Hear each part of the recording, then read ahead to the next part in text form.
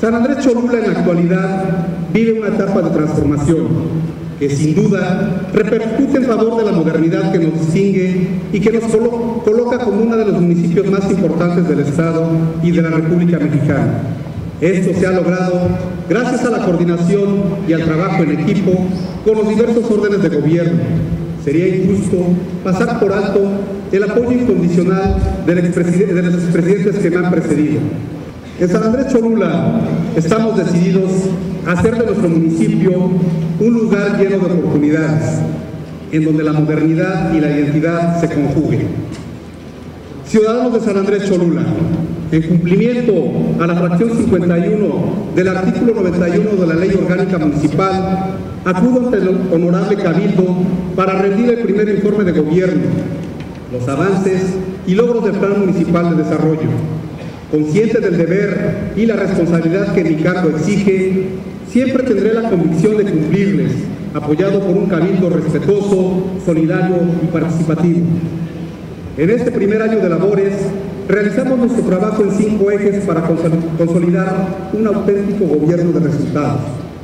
Administración con perspectiva de género, enfoque social y sentido humano. Desarrollo económico, e incluyente. Desarrollo urbano sustentable, infraestructura y servicios públicos de calidad. Justicia, seguridad y protección civil.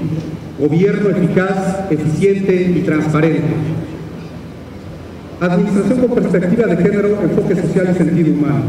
Considero el centro de este gobierno es el ser humano. Por lo tanto, en este año de actividades brindamos apoyo a los grupos vulnerables. Como gobierno nos propusimos acercarnos a los sanandreseños que se encuentran más allá de nuestras fronteras. Por eso, creamos la Dirección de Migración, que entre sus principales objetivos tiene de apoyar a nuestros migrantes, trasladándolos desde el aeropuerto de la Ciudad de México o desde la ciudad fronteriza en que se encuentren y regresarlos a su lugar de origen. También apoyamos a las familias de nuestros hermanos que lamentablemente pierden la vida en aquellas latitudes, transportando sus restos a este lugar de forma gratuita.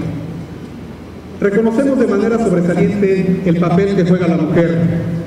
A todas las mujeres, mi más sincero reconocimiento destacando desde luego la noble y loable labor de la señora Marta Alonso de Moreno Valle, quien ha sido inspiración y ejemplo de las mujeres poblanas para contribuir a la transformación de pueblo.